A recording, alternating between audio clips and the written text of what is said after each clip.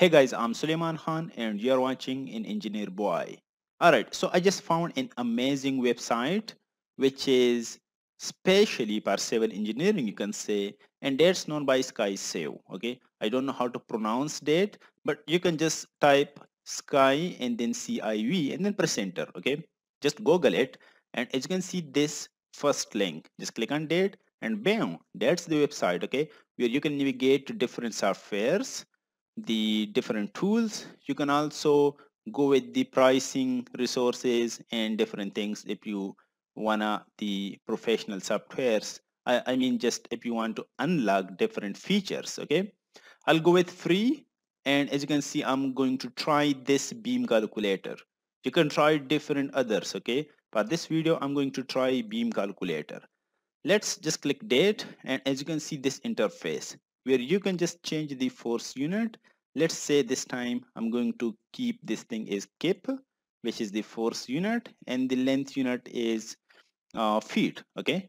All right I'm going to add a beam just click date and let's say the beam length is going to be 20 feet. I'm going to add that and bam you can see that okay? I'm going to add a support and let's say this is going to be pin support which is going to be at the left side okay? That's why it is taking the position is zero feet and add it. And then let's say I'm going to add another support and let's specify the ruler one this time. And let's say at the right side and 20 is already taken. So it's gonna place that ruler support over here. Okay? That's pretty amazing. Okay? You can just change the uh, the videos. Okay? If you come down over here you can change and delete if you want. All right. Next i'm going to add some loads all right and as you can see these are determinate structures okay?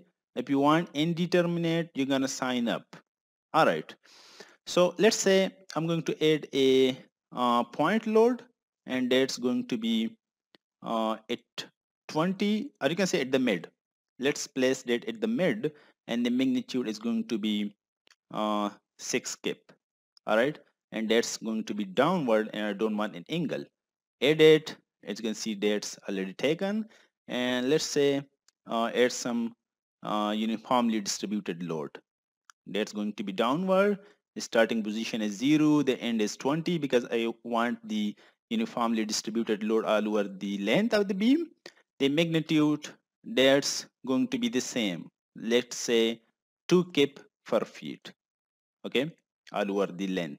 Let's add it and as you can see it's been added when you are done and if you don't want any changes over here just click this solve.